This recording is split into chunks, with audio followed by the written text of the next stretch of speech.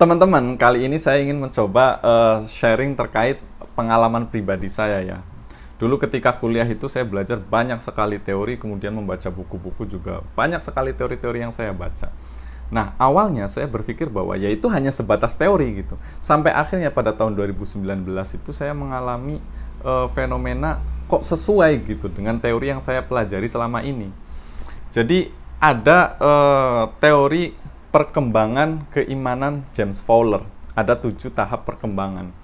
Nah, kemudian ketika saya belajar tentang konsep tersebut, saya memikir, uh, saya mikir bahwa ah ini hanya sebatas teori gitu. Sampai akhirnya pada tahun 2019, saya bertemu dengan empat mualaf jadi 2016 saya bersama teman-teman santri itu mendirikan sebuah lembaga privat ngaji untuk kalangan menengah ke atas. Kemudian di tahun 2019 eh, ada empat mualaf yang mendaftar ngaji privat di lembaga saya.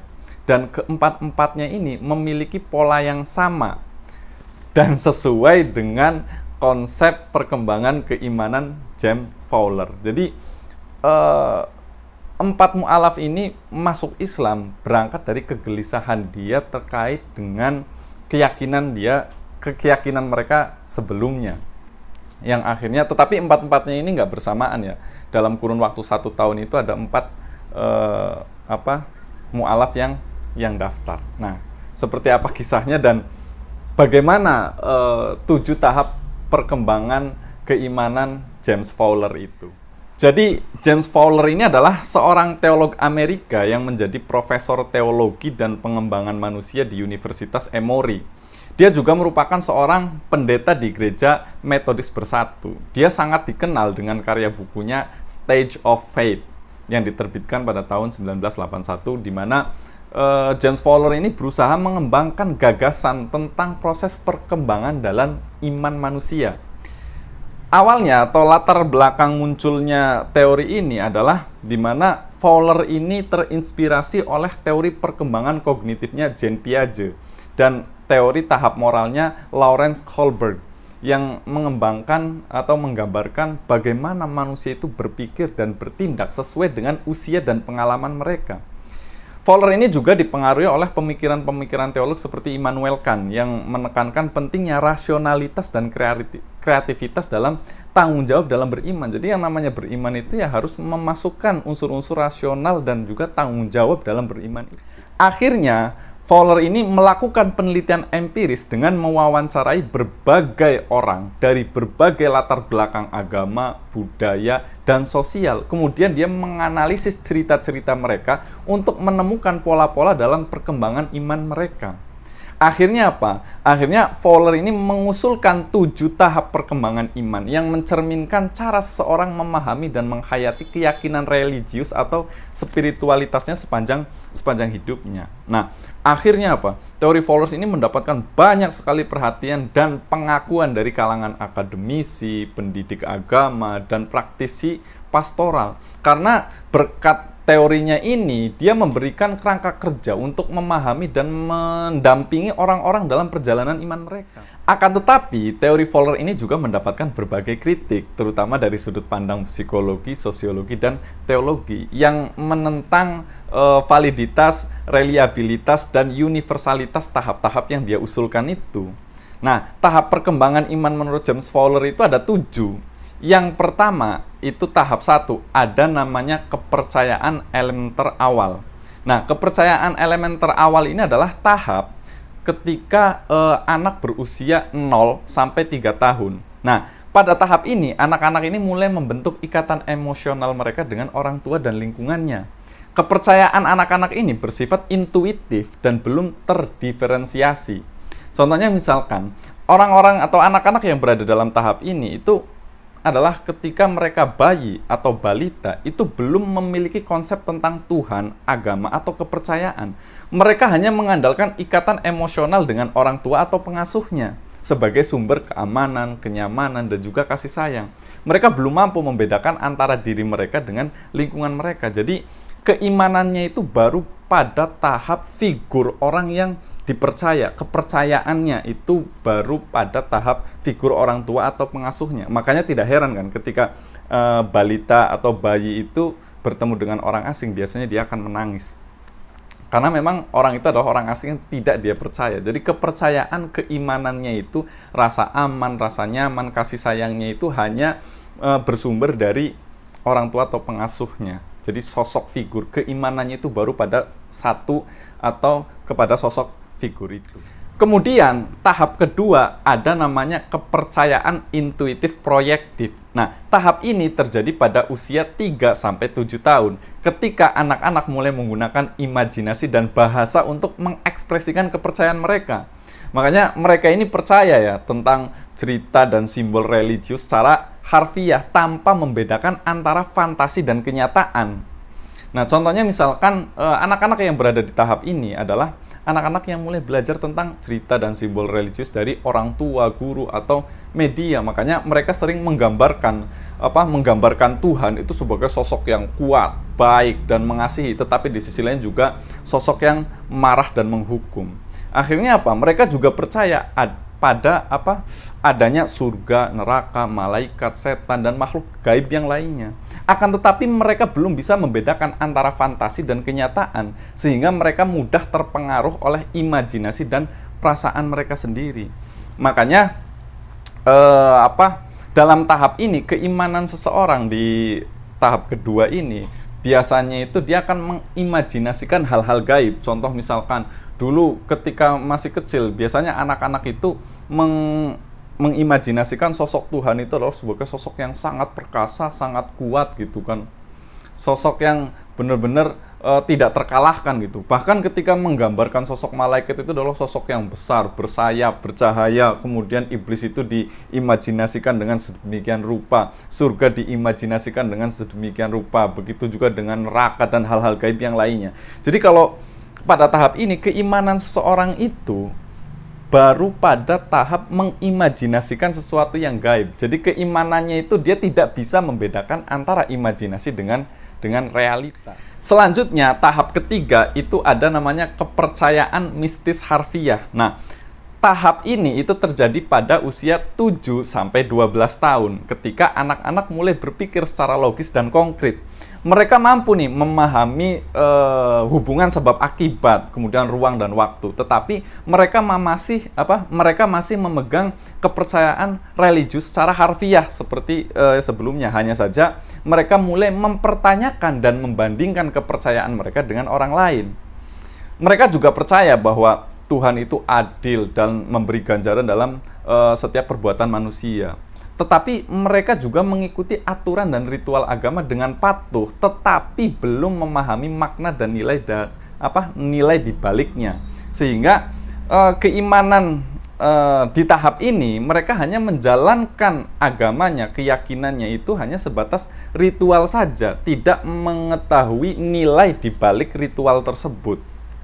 Dan juga mereka masih memahaminya itu secara harfiah. Hanya saja mereka mulai nih membanding-bandingkan keyakinan diri dia sendiri dengan keyakinan orang lain. Ini juga pernah saya temui di salah satu uh, peserta privat di Pondok Indah. Jadi ada orang tua, anaknya itu umur 12 tahun, dia sekolah di sekolah internasional di mana murid-muridnya itu multi etnis dan multi keyakinan.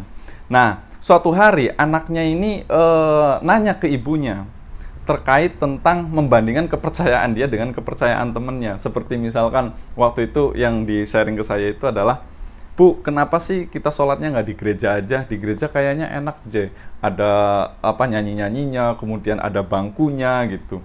Jadi e, mulai membandingkan keyakinan dirinya dengan keyakinan anak-anak e, di usia mereka yang berbeda gitu akhirnya orang tuanya ini kerepotan. Hampir setiap hari ditanyai sesuatu hal-hal yang sangat sederhana tapi susah untuk dijawab. Kayak kenapa? Kenapa sih kalau uh, sholat isya itu harus empat rakaat gitu? Kenapa kalau subuh cuma dua rakaat gitu? Terus apalagi pertanyaan-pertanyaan prinsip yang sebenarnya sangat dasar tapi susah dijawab. Akhirnya uh, orang tuanya itu menghubungi saya kemudian minta privat ngaji dan saya kirimkan salah satu teman saya untuk menghadapi anak yang sangat kritis ini. Karena memang di usia ini perkembangan keimanan manusia atau seseorang itu berada pada tahap dia akan membandingkan keyakinan dia dan keyakinan uh, orang lain. Dan juga mereka ya hanya menjalankan ritual keagamaan mereka ya hanya taat saja gitu tanpa mengetahui nilainya. Mereka belajar puasa iya, belajar sholat iya, tetapi tidak mengetahui nilai di balik puasa itu apa, di balik sholat itu apa, ya dia hanya menjalankan saja gitu. Atau bagi agama yang lain, ketika Kristen ya mereka hanya menjalankan ajarannya mereka tanpa mengetahui pesan-pesan di balik ritual keagamaan mereka ini. Nah, yang keempat, tahap keempat ini adalah kepercayaan sintesis konvensional. Nah, tahap ini itu terjadi pada usia remaja sekitar 12 sampai 20 tahun.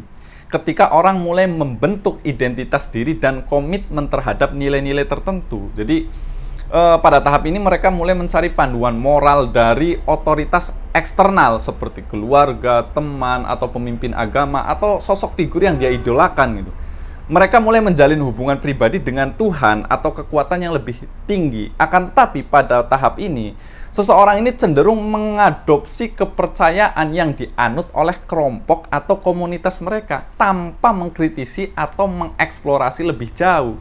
Jadi ya hanya asal ikut kelompok mereka gitu. Jadi mereka ini juga sensitif nih terhadap pendapat dan harapan orang lain sehingga mereka bisa merasa bersalah atau bingung jika ada konflik antara keraguan dalam kepercayaan diri mereka. Makanya di tahap uh, umur 12 sampai 20 ini biasanya kepercayaan atau keimanan seseorang itu ya hanya mengikuti kelompoknya. Contoh misalkan uh, ketika saya berusia 12 sampai 20 tahun, ya saya hanya mengikuti keyakinan orang tua saya, mengikuti keyakinan kelompok saya. Misalkan saya mengikuti kelompok A. Kelompok A itu memiliki keyakinan seperti ini, seperti ini, seperti ini. Nah, ya saya hanya mengikuti keyakinan kelompok saya itu sendiri tanpa mengkritisi apakah ini benar atau tidak. Jadi hanya asal ikut-ikutan. Keimanannya itu masih berada pada tahap taklid terhadap kelompoknya. Dan ini juga sering kan terjadi di masyarakat di mana keimanan seseorang itu ya hanya mengikuti e, kelompoknya saja tanpa mengkritisi dan mengevaluasi atau mengelaborasi keyakinan tersebut benar atau enggak sesuai dengan prinsip dia sendiri atau atau tidak. Nah, di tahap ini biasanya orang-orang itu tidak berpikir kritis tetapi ya hanya mengikuti saja. Makanya ketika ditanya misalkan, "Kenapa kamu agamanya A?" Ya, saya mengikuti orang tua saya, saya mengikuti kelompok saya, saya mengikuti komunitas saya. Jadi hanya ikut-ikutan. Yang kelima adalah tahap kepercayaan individuatif reflektif. Inilah eh, tahap yang saya temui tadi di empat mu'alaf yang ngaji di lembaga saya. Nah, tahap ini itu terjadi pada usia dewasa awal hingga pertengahan sekitar umur 20 sampai 35 tahun di mana pada tahap ini orang itu mulai memeriksa dan mengevaluasi kepercayaan mereka secara kritis dan independen. Jadi mereka ini mampu membedakan antara kepercayaan pribadi dengan kepercayaan kelompok. Jadi mereka ini mampu mengakui dan menghargai keberagaman dan kompleksitas kepercayaan orang lain. Jadi tidak egois nih, mulai menghargai. Nah, mereka tidak lagi bergantung pada otoritas eksternal, tetapi mengambil tanggung jawab atas keputusan dan tindakan mereka sendiri. Makanya mereka ini bersedia nih mengubah atau merevisi kepercayaan mereka jika ada bukti atau pengalaman baru yang menentangnya. Contohnya misalkan, orang yang berada di tahap ini adalah orang-orang dewasa yang mulai melakukan refleksi kritis atas semua pendapat dan keyakinan lama. Kemudian sadar akan tanggung jawab dan tindak uh, tidak tergantung pada orang lain bahwa keyakinan itu ya milik pribadi bukan tergantung kepada orang lain gitu. Makanya dalam tahap ini seseorang itu mulai merenungi nih kepercayaan yang selama ini dia pegang. Benar enggak gitu. atau mungkin jangan-jangan ada kebenaran lain di luar sana yang selama ini belum terjamah gitu. Bisa juga bersifat ketenangan spiritual keyakinan yang dipegang selama ini belum mengantarkan ketenangan dalam dirinya gitu sebagai makhluk yang yang bertuhan. Nah yang saya temui itu adalah di tahap tahap kelima ini dari keempat mualaf ini semuanya itu curhat tentang tentang refleksi diri mereka terhadap keyakinan sebelumnya belum menghantarkan ketenangan sebagai makhluk yang bertuhan. Banyak dari empat. Nah salah satunya itu ada salah e, seorang mahasiswa kalau nggak salah itu semester e, lima. Dia dari Cibubur waktu itu menghubungi saya zuhur zuhur saya masih ingat banget. Kemudian ketemu saya jam 3 sore di kantor dan dia curhat dia itu ternyata masuk Islam dan dia menjadi satu-satunya muslim di keluarganya. Bapaknya Katolik, ibunya Katolik, adiknya Katolik. Dia muslim sendirian di di rumah dan yang bikin dia sedih biasanya itu adalah ketika hari raya. Dia sholat Idul Fitri itu sendirian. Nah, suatu saat dulu 2019 yang lagi rame-ramenya pilpres, kemudian banyak uh, kampanye di dalam masjid, di mana pada saat itu kita semua tahulah 2009 itu betapa ruwetnya, betapa terpecah belahnya masyarakat kan. Nah, ketika dia Jumatan, dia mendengar khutbahnya itu sangat menggebu-gebu ngomongin politik di dalam masjid. Akhirnya dia berpikir, loh kok perasaan saya pengen masuk Islam itu pengen menjadi lebih tenang. Kok malah kayak masjid ini terasa panas gitu lagi ibadah harusnya khusus ngomongin ketakwaan kepada Tuhan kok ini malah ngomongin politik gitu. Akhirnya dia mulai berpikir kritis kemudian itu hari Jumat, hari Minggunya dia ikut misa uh, di gereja bersama keluarganya, bersama bapak, ibu sama adiknya. Dia ikut ke gereja padahal dia Islam. Dia ikut ibadah lagi di gereja, kemudian dia menemukan ketenangan di dalam gereja itu. Loh kok di gereja kayaknya enak banget gitu, tenang. Apa saya balik lagi aja gitu ke agama sebelumnya gitu. Nah, ketika dia merasa gelisah itu kemudian dia menemukan se, apa selebaran pamflet privat ngaji di media sosial akhirnya menghubungi nomor saya. Curhatlah dari jam 3 sore sampai jam 9 malam gitu. Itu adalah salah satu contoh uh, tadi tahap kelima ini mulai mengkritisi keyakinan lama. Ada juga itu yang satu yang uh, mahasiswa semester 5 kemudian ada yang dari Bintaro waktu itu itu di akhir-akhir 2019 dia pengen masuk Islam kemudian minta izin ke keluarganya karena dia meyakini bahwa yang namanya keyakinan itu datang dari dalam bukan dari luar. Dia menganggap bahwa nggak bisa yang namanya keyakinan itu ikut-ikutan. Masa orang yakin ikut katanya?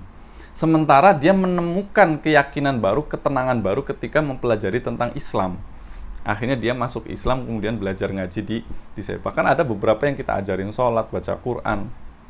Dan masih ada dua lagi. Nah kesimpulan dari empat e, mualaf yang saya temui itu dia berada pada fase yang kelima ini. Yaitu kepercayaan individual reflektif. Jadi dia tidak lagi mengikuti kelompoknya tetapi dia mengkritisi atas kepercayaan yang dia anut e, selama ini dan outputnya dari refleksi ini bisa ada dua. Bisa jadi dia makin kuat dengan keyakinan yang lamanya, bisa juga hasil refleksinya itu membuat dia menemukan keyakinan baru yang lebih mentramkan secara spiritual. Jadi outputnya ada dua di tahap lima ini. Dia bisa makin yakin dan mas, makin beriman dengan kepercayaannya, kepercayaan yang selama ini dia pegang. Bisa juga dia akan keluar mencari keyakinan baru. Makanya lihat, banyak sekali mualaf-mualaf itu orang yang berpindah itu pindah keyakinan baik dari misalkan dari Kristen ke Islam maupun dari Islam ke Kristen itu berada pada tahap kelima ini tahap reflektif apa individual reflektif. Nah teori ini yang akhirnya selama ini saya pelajari wah ini hanya teori gitu ternyata terjadi gitu di lapangan dan saya menemukan orang-orangnya. Kemudian tahap keenam itu ada namanya kepercayaan eksistensial konjungtif. Nah, tahap ini terjadi pada usia dewasa paruh baya sekitar uh, umur 35 sampai 45 tahun di mana pada tahap ini seseorang mulai menyadari batas-batas pengetahuan dan rasionalitas mereka. Jadi mereka mulai menerima adanya paradoks dan kontradiksi dalam kehidupan dan kepercayaan. Tetapi mereka mampu mengintegrasikan berbagai aspek dari diri mereka sendiri seperti kesadaran dan ketidaksadaran, rasional dan irasional gitu, maskulin dan feminim dan yang lainnya. Jadi mereka tidak lagi mencari kebenaran absolut, tetapi mereka e, mencari kebijaksanaan dan kedalaman dalam kepercayaan mereka sehingga mereka ini terbuka untuk belajar dari berbagai sumber termasuk tradisi agama lain, filsafat, seni, ilmu pengetahuan. Nah, contoh orang yang berada di dalam tahap ini adalah orang-orang yang mengalami krisis iman atau krisis eksistensial. Kemudian e, membuat mereka meragukan atau menentang kepercayaan yang sebelumnya mereka anut. Kemudian mereka e, mungkin mengalami kebingungan, ketakutan, kesedihan atau kemarahan, tetapi juga memiliki kesempatan untuk belajar, berkembang dan berubah. Jadi mereka mungkin mencari bantuan dari berbagai sumber ya, seperti agama, filsafat, seni, ilmu pengetahuan, atau orang-orang yang mereka percayai, atau sosok figur kiai lah kalau dalam Islam. Kemudian mereka menemukan kebenaran baru atau mak makna baru dalam kehidupan dan kepercayaan mereka. Sehingga mereka menemukan cara untuk berdamai dengan diri sendiri, dengan Tuhan, atau dengan orang lain. Nah, salah satu contoh paradoks dan kontradiksi dalam kepercayaan itu adalah contohnya misalkan paradoks kisahnya Nabi Ibrahim. Di mana Nabi Ibrahim itu kan diminta oleh Tuhan untuk mengorbankan anaknya Ismail sebagai bukti kesetiaan dan ketaatannya. Nah, kisah ini menimbulkan pertanyaan-pertanyaan, misalkan seperti bagaimana mungkin Tuhan yang baik dan adil meminta Nabi Ibrahim untuk melakukan hal yang jahat dan tidak adil gitu. Bagaimana mungkin Nabi Ibrahim yang mencintai anaknya bersedia untuk menyembelihnya gitu. Bagaimana mungkin Nabi Ismail yang uh, takut dan tidak bersalah mau dikorbankan? Atau mungkin bagaimana mungkin Tuhan yang setia dan menempati janji-janjinya kemungkinan apa kemudian mengingkari janjinya pada Nabi Ibrahim tentang keturunan yang besar gitu? Atau mungkin bagaimana mungkin gitu Nabi Ibrahim yang percaya dan beriman meragukan Tuhan dan mencoba menegosiasi dengannya? Gitu? Atau mungkin pertanyaan banyak lagi ya, bagaimana mungkin Tuhan yang berkuasa dan berkehendak bebas mengubah rencananya dan kemudian menyediakan eh, apa domba pengganti untuk dikorbankan. Jadi pertanyaan-pertanyaan paradoks yang mulai muncul dalam keyakinannya atau mungkin bagaimana mungkin semuanya sudah ditakdirkan oleh Tuhan gitu kan. Hidup kita mati kita kemudian kita ditakdirkan matinya misalkan bunuh diri. Tetapi di sisi lain Tuhan membuat aturan bahwa orang yang mati bunuh diri itu langsung masuk neraka misalkan. Nah itu adalah pertanyaan-pertanyaan paradoks uh, yang bertentangan dalam keimanan kemudian dia mulai uh, mensintesiskan gitu dari pertanyaan pertanyaan tersebut. Orang-orang yang berada di tahap keenam ini mungkin akan mencoba menjawab pertanyaan-pertanyaan ini dengan cara yang berbeda dari orang yang berada di tahap-tahap sebelumnya. Mereka mungkin tidak akan mengambil kisah ini secara harfiah, tetapi secara simbolis atau metaforis. Jadi, mereka mungkin tidak akan ya menganggap bahwa kisah ini sebagai kisah sejarah, tetapi sebagai kisah sastra atau teologis. Kemudian mereka juga mungkin tidak akan menganggap kisah ini sebagai kisah tunggal, tetapi sebagai kisah yang memiliki berbagai interpretasi dan implikasi. Sehingga mereka tidak akan menganggap kisah ini sebagai kisah yang menunjukkan kebenaran absolut, tetapi sebagai kisah yang menantang dan menguji kebenaran relatif dan juga keyakinan dan keimanan mereka. Sehingga mereka tidak menganggap kisah ini sebagai kisah yang menimbulkan konflik atau ketidaknyamanan tetapi sebagai kisah yang menawarkan kesempatan dan pertumbuhan dalam keimanan mereka. Jadi udah kalau udah tahap ini itu sudah tidak peduli dengan kontradiksi itu. Karena apa? Mereka memahami sebuah teks itu tidak secara letterlek atau secara harfiah, tetapi mengambil nilai atau pelajaran di balik sebuah kisah yang disodorkan dalam kitab suci.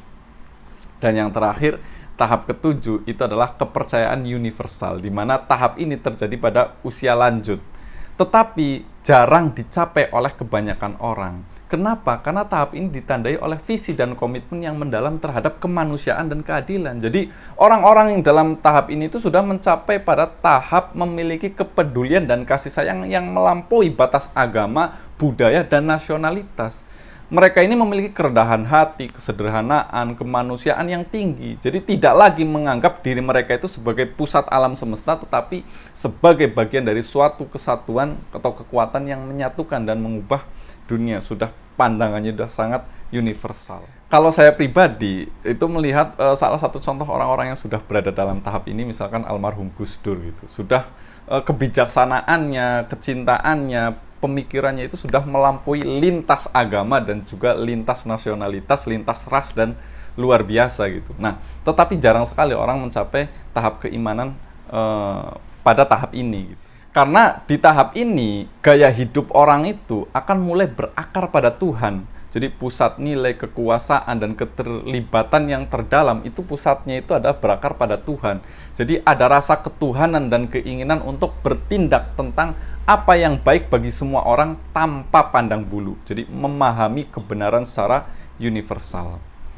Nah, balik lagi, yang namanya perkembangan itu sendiri sifatnya fluktuatif berbeda dengan pertumbuhan, sehingga tidak bisa diukur berdasarkan usia seperti yang tadi saya sebutkan. Setiap orang itu memiliki tahap perkembangannya sendiri. Akan tetapi konsep ini setidaknya itu bisa menjadi gambaran terkadang meskipun usianya sudah sampai di atas 20 atau 30 tahun, tapi bisa jadi seseorang itu tahap keimanannya stagnan di tahap satu atau dua, di mana keimanannya itu sangat bergantung pada orang lain dan kebenarannya itu bersifat sangat sempit. Kira-kira uh, teman-teman itu tahap keimanannya di tahap berapa? Silahkan tulis di kolom komentar.